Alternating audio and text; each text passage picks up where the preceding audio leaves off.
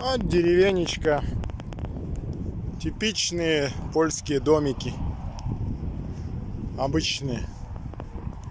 Кстати. Рядом с трассой. И заборчики хорошие. Написано злая собака. И там злая собака.